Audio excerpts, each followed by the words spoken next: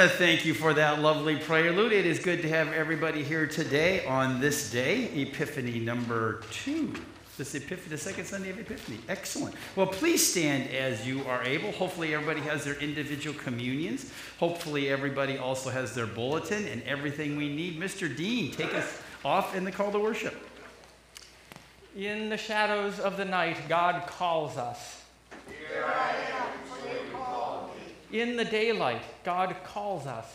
Here I am, for you call me. God calls to each of us by name. Here I am, for you call me. And now we have a time of confession and hear words of forgiveness. We make the cross, remembering our baptismal covenant. Living God, your star in the east guided the Magi to Jesus, your chosen child. But it was a disturbing and difficult journey. When you lacked courage to venture into unfamiliar territory, oh God, forgive Your star led the Magi to grapple with Herod, an evil person.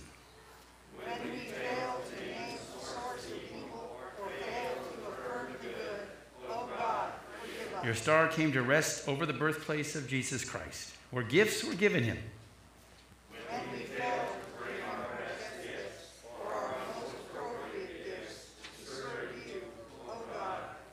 Your star was left behind as the Holy Family fled the anger of Herod to Egypt. When we are not able to see the refugee or to help the stranger in our neighborhood, oh God, forgive us. Now let us have a time for silent reflection.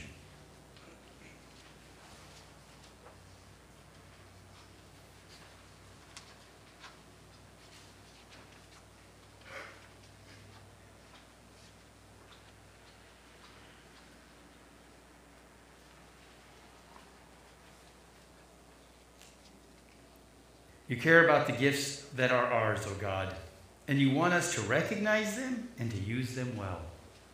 You will bless us when we confront our lack of courage and decide to take the rough but the right way. God will go with us when we do. And we will rejoice in God's presence. Pardon and peace are ours. Thanks be to God. Amen. Our opening hymn, Jesus Come, for we invite you, verse 1 and 3.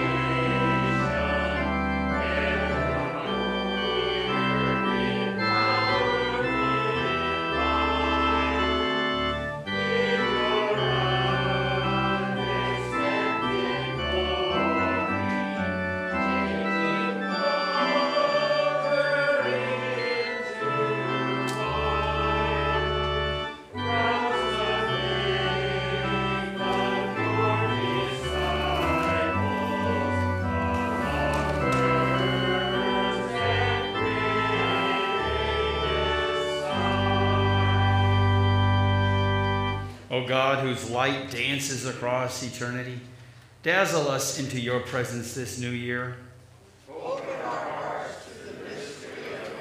Awaken us to your presence, knit to the ordinary.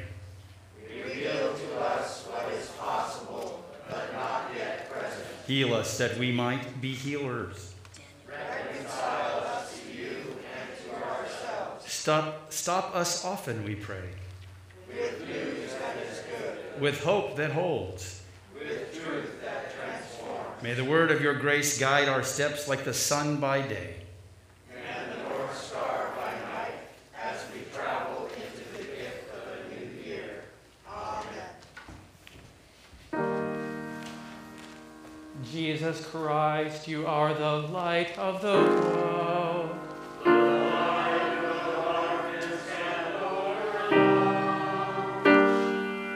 Abide with us, for it is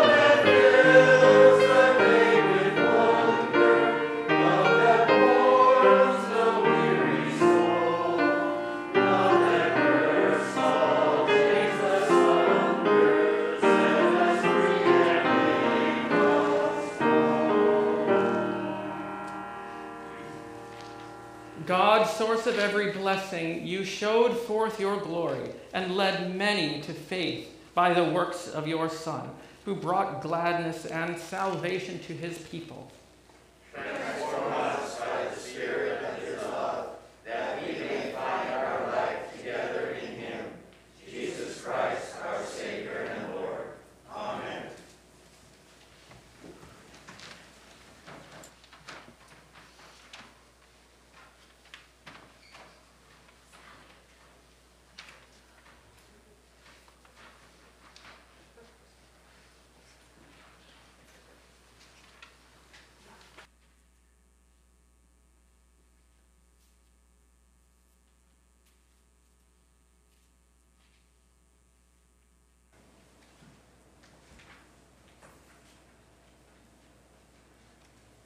Holy God, you speak to us in scripture and in prayers, in sunrises and sunsets, in friends and in strangers, in dreams and in songs.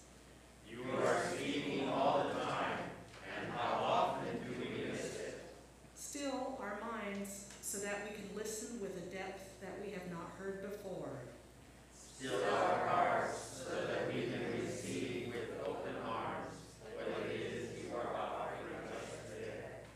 We know you are speaking. The reading for today is from 1 Corinthians chapter 12, beginning with the first verse. Now, concerning spiritual gifts, brothers and sisters, I do not want you to be uninformed. You know that when you were pagans, you were enticed and led astray to idols that could not speak. Therefore, I want you to understand that no one speaking by the Spirit of God ever says, Let Jesus be cursed. And no one can say, Jesus is Lord, except by the Holy Spirit. Now there are variety of, varieties of gifts, but the same Spirit. And there are varieties of services, but the same Lord. And there are varieties of activities, but it is the same God who activates all of them in everyone. To each is given the manifestation of the Spirit for the common good. To one is given through the Spirit the utterance of wisdom, and to another the utterance of knowledge according to the same Spirit, to another faith by the same Spirit, to another gifts of healing by the one Spirit, to another the working of miracles, to another prophecy, to another the discernment of spirits, to another various kinds of tongues, to another the interpretation of tongues. All these are activated by one and the same Spirit, who allots to each one individually just as the Spirit chooses. Word of God, word of life. The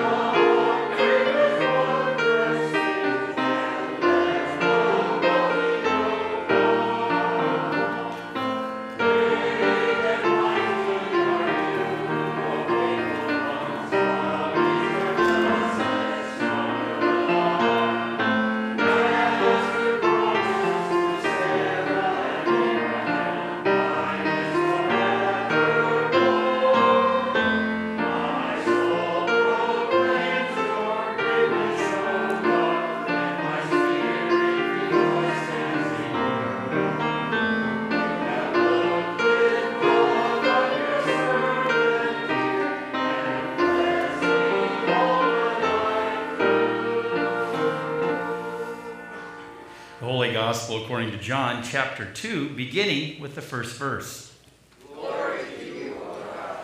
On the third day, there was a wedding in Cana of Galilee, and the mother of Jesus was there. Jesus and his disciples had also been invited to the wedding. When the wine gave out, the mother of Jesus said to him, They have no wine.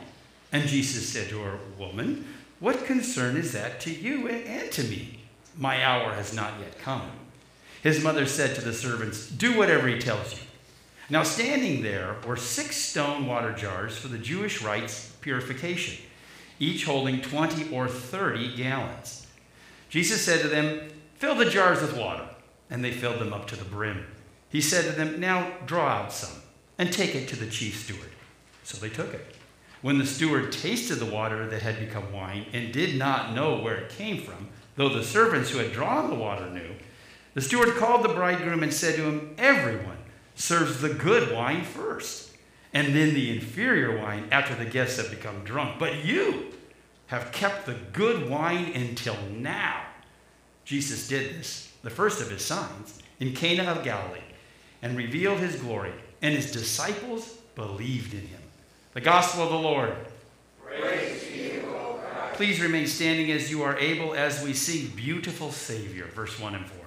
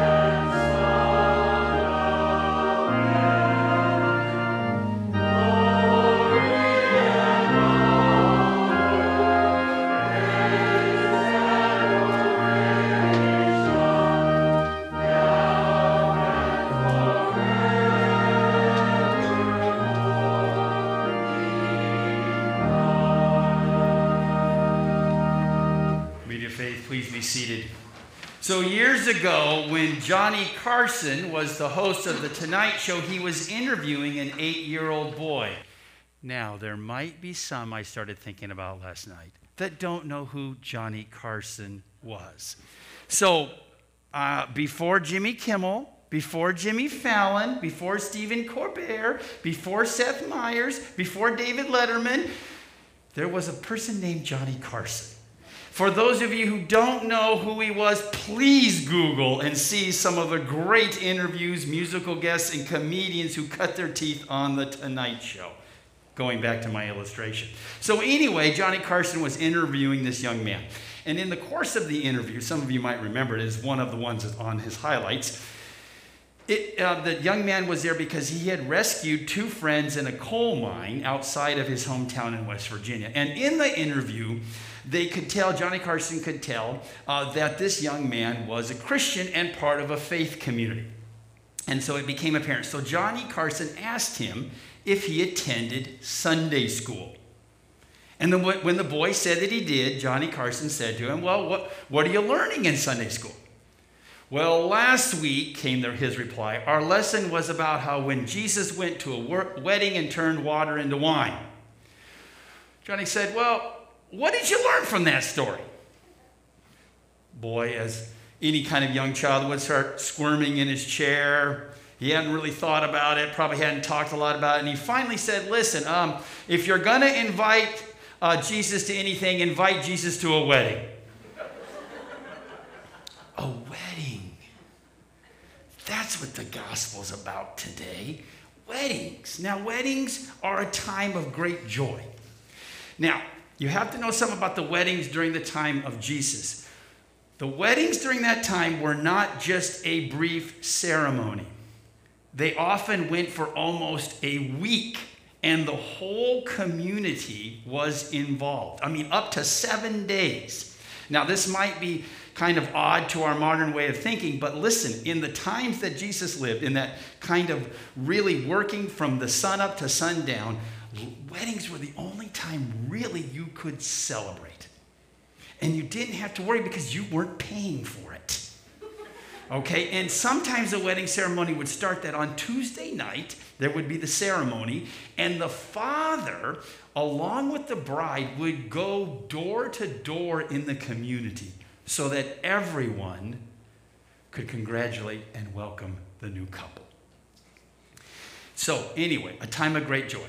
Now, here we have Jesus at this wedding and the disciples, and we at least know his mother was there, quite possibly other members of his family. There's a shortage of wine. Now, this was not only a social embarrassment. If you had a dud of a reception, the thought by the community was that your marriage wasn't going to last. And so to run out of wine in the middle of a ceremony did not bode well for the success of this married couple. And so Mary approaches Jesus. Remember, Mary approaches Jesus. Now, only so many, this is crucially remember my comments today. The very few people know about this first miracle of Jesus. The servants do, Mary does, and the disciples.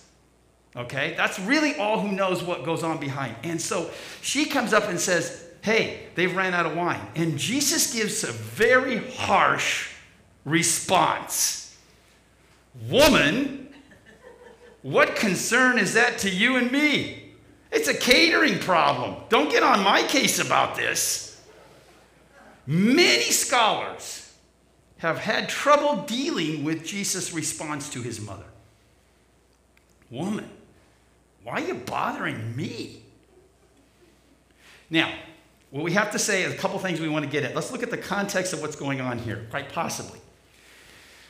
Up to this point, Jesus has not performed a single public, public miracle. He's 30 years old. Just if you go home and read the early text, just gathered the disciples. I mean, they haven't been together that long. And there they are at this ceremony, right? The thought by some scholars is maybe Jesus was pondering was this the moment to start the journey which would end at the cross. Because as soon as he goes public with a miracle, he knows that the public will be hounding him, following him around. He knows that the Pharisees and Sadducees and all the religious establishment will put him on their radar. He knows that quite possibly he will be interpreted as a, a rebel, as an, up, uh, uh, an upright against the Roman government. So Jesus knows that as soon as he does his first public miracle, he starts the clock ticking and knows where it ends. So I want to take a look at a couple points about this first sign.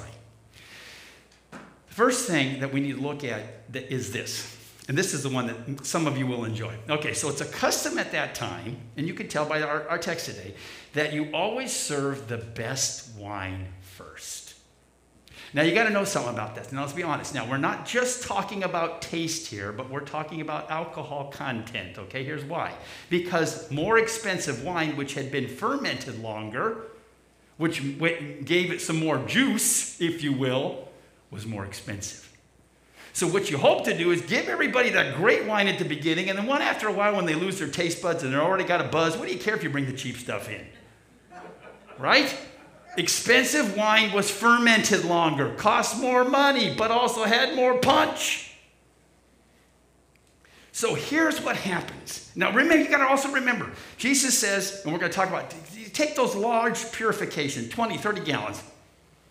Go ahead, bring it, fill them up, dip it in there, take it to the chief steward. Now, chief steward doesn't know it came from Jesus. Takes it to the chief steward, and all of a sudden, bam, it's the best wine that Chief Steward's ever tasted. Takes it to the, the bridegroom. The bridegroom goes, This is fabulous. Again, I go back to the only people who knew this was Jesus' miracle Mary, the catering staff, and the disciples. Chief steward didn't know it, bride and groom didn't know it, nobody knew it. So Mary comes to him, and here's where you'll get some commentaries go.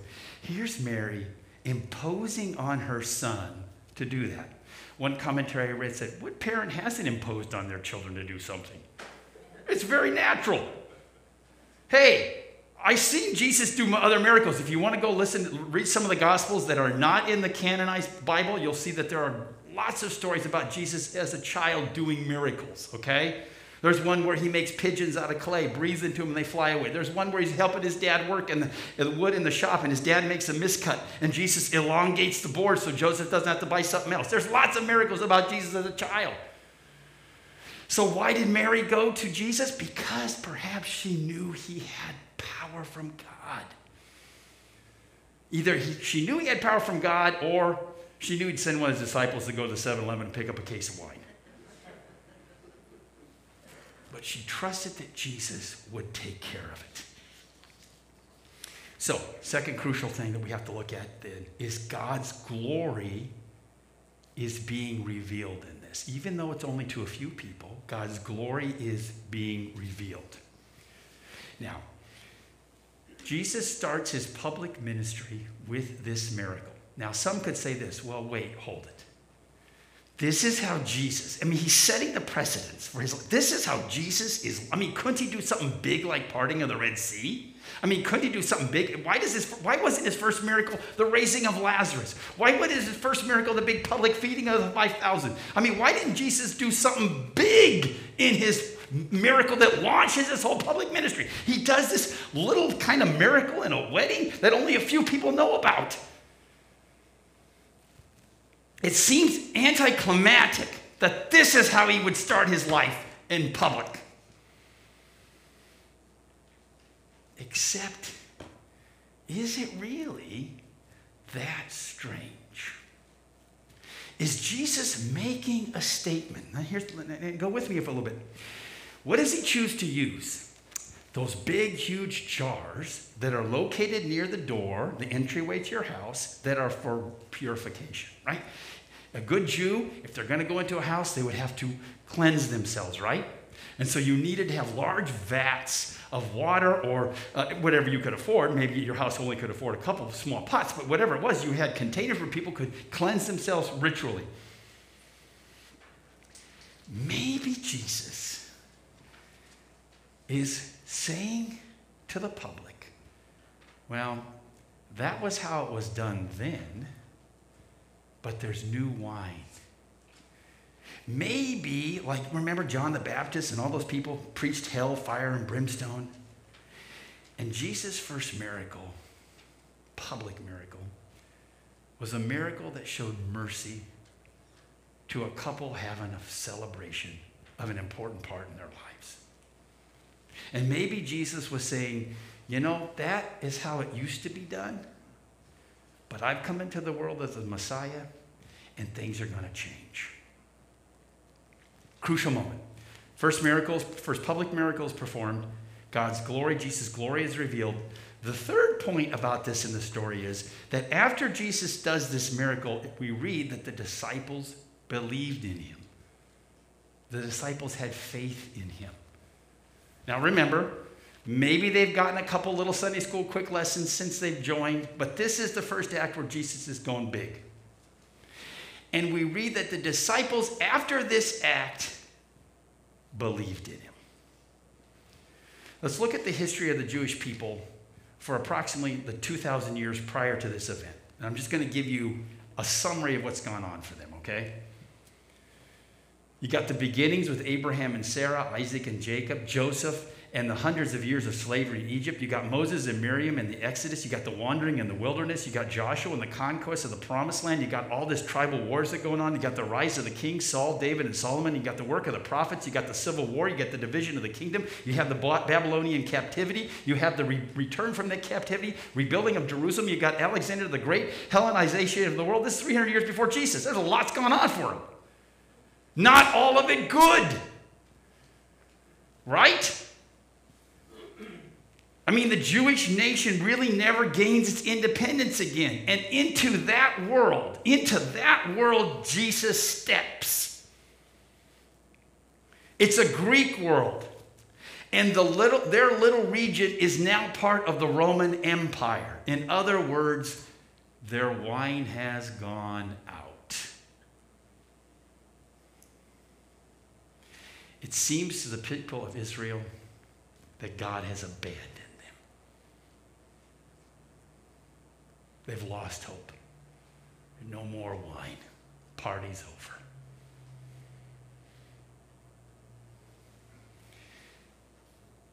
And then I said to myself this week, wow, I felt like my wine's gone out. Haven't we had times in our lives when we literally felt like the wine was gone? We were empty. We had no reserves. Our tank void.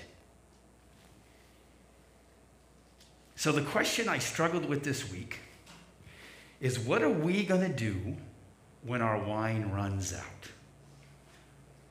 What do we do when we feel that we're empty? We can't go on. We're overwhelmed. It's the last straw. I've got no reserves. Interesting. That's kind of sometimes how we deal with our faith life. We pray our hardest and most frequently, perhaps, when we're in the greatest need. How many times do we find ourselves praying prayers of praise? And how does that stack up to our prayers of petition? God, I can't go on. God, help me through this time. Do those prayers outweigh that, God, thank you for this day and that encounter that I had? Thank you for the gift of, of being able to just breathe in the air. Thank you for the gift of this walk around my neighborhood. I mean, how often do those prayers compete with the, God, I can't go on, I'm done? Even Mary comes. I mean, she comes to him when there's empty, when the wine's, when the, the jars are empty of wine. Jesus, there's a problem. Deal with it. So there's a, there's a poem, you're going to recognize as soon as I tell you what it is, that I find myself going to at least once or twice in a year. And this poem uh, is uh, uh by uh, uh, Myra Brooks Welch, The Touch of the Master's Hand. I've read it before here in sermons. In fact, we once showed a video of it. But I find myself drawn to that when I feel that I'm on empty. I find myself drawn to it when I feel I can't go on and I'm overwhelmed. Let's hear it again this afternoon. The touch of the Master's hand. 'Twas battered and scarred, and the auctioneer thought it hardly worth his while to waste his time on the old violin, but he held it up with a smile. What am I bid, good people? He cried. Who starts submitting for me? One dollar, one dollar, do I hear two? Two dollars, who makes it three? Three dollars once, three dollars twice, going for three, but no. From the room, far back, a gray haired man came forward and picked up the bow. Then, wiping the dust from the old violin and tightening up the strings, he played a melody pure and sweet, as sweet as the angels sing. The music ceased, and the auctioneer, with a voice that was quiet and low, said, What now, my bid, for this old violin?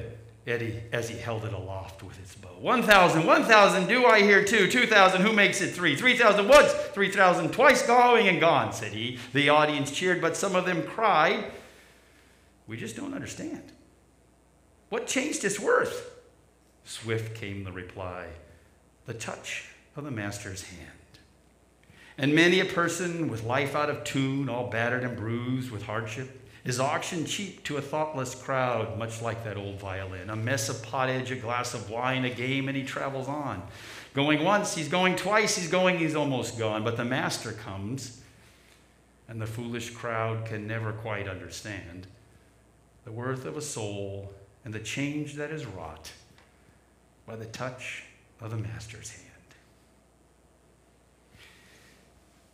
Jesus touches the wedding celebration with his presence. Jesus transforms that ordinary event into an extraordinary event. Everybody serves the cheap wine at the end. But Jesus, Jesus saves the best till last. That's the lesson that the disciples got. So, my question for us in this threshold of a new year let's not, let's not let that lesson be, lesson be lost on us. The Master holds us, the Creator holds us, the divine holds us. And we are treasured, we are loved, we are filled with the love of God. Amen.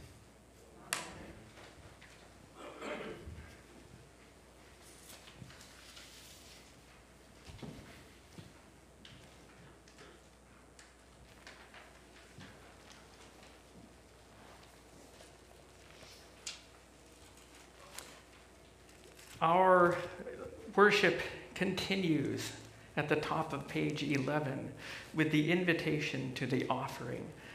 Come into Christ's light with your gifts. They need not be gold or precious oil.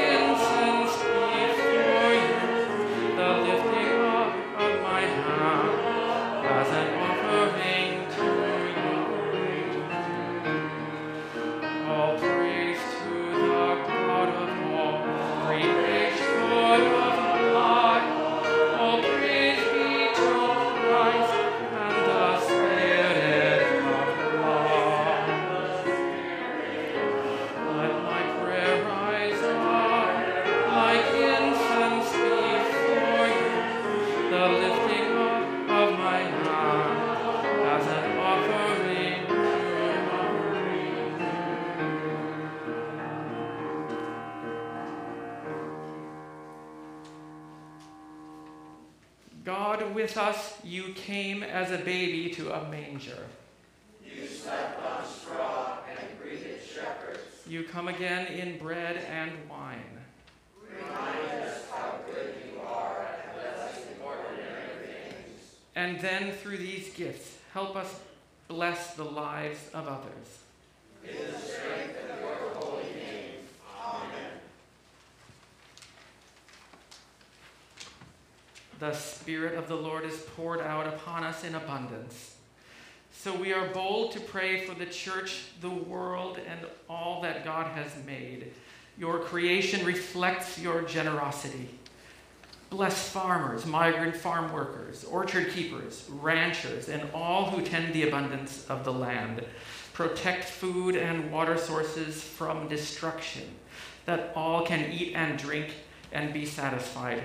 God of grace, By your Spirit, grant wisdom, knowledge, and discernment to those who hold leadership positions at any level.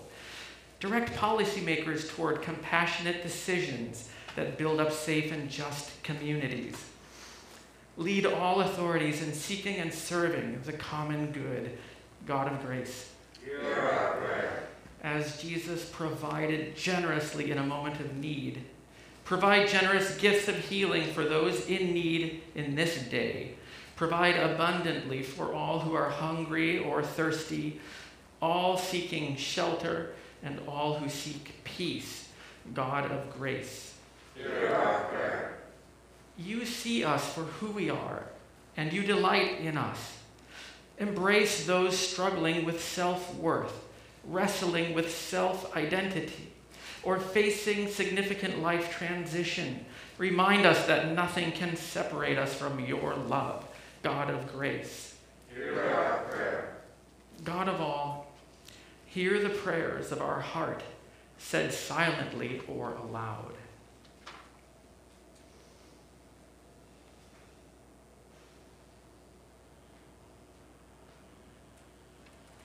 God of grace, Hear our prayer. Rejoicing in your word made flesh among us, we commend these prayers to you, confident of your grace and love made known to us in Jesus Christ, our Savior. Amen. God of wisdom, with gratitude and love, you created a world that was good. You gave us this earth to enjoy. You trusted us to share with you in caring for it.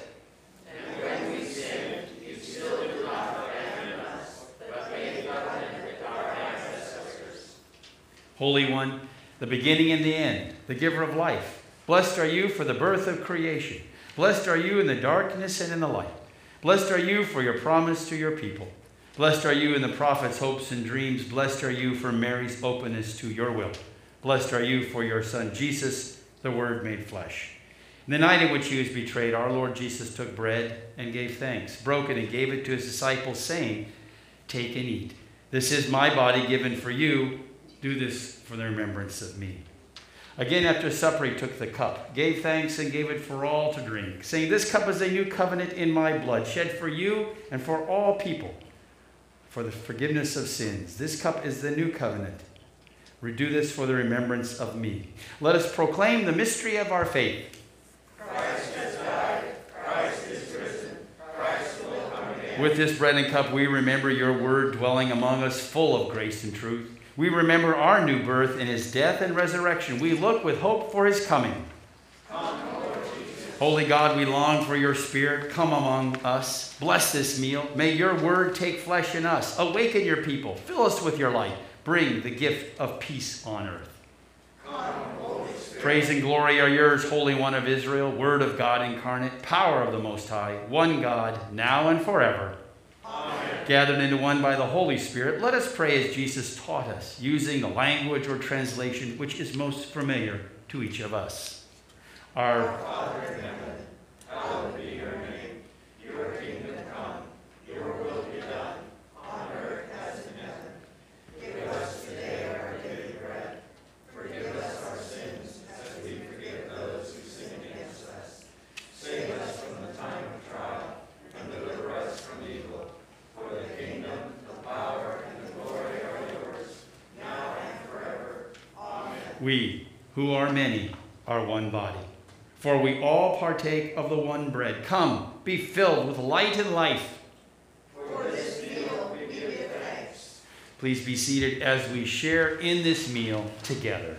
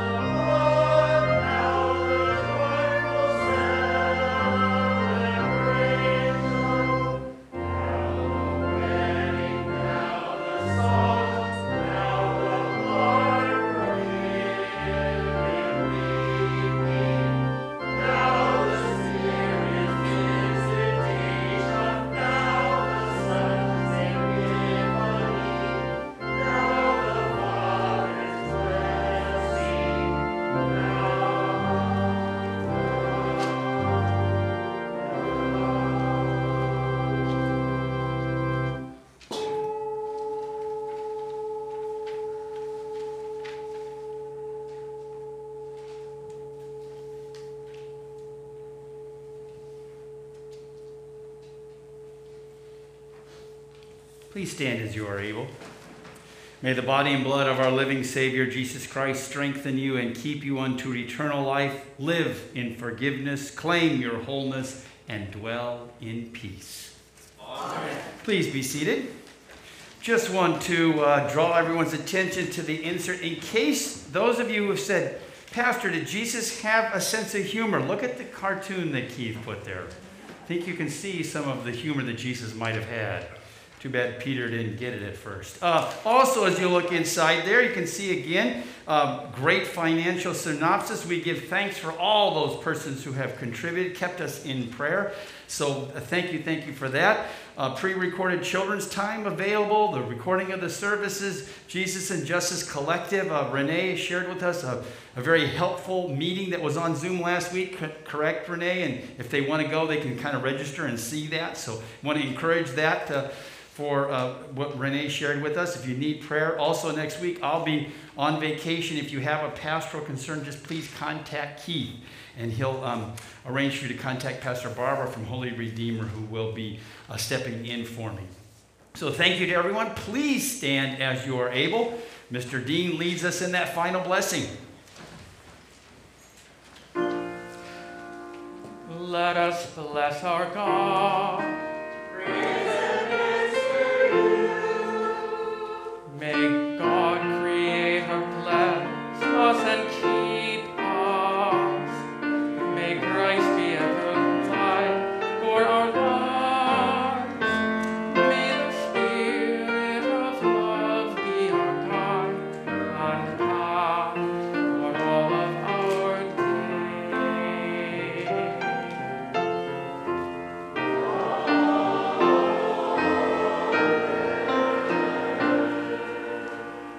we go out with songs of thankfulness and praise on our lips, verses 1 and 2.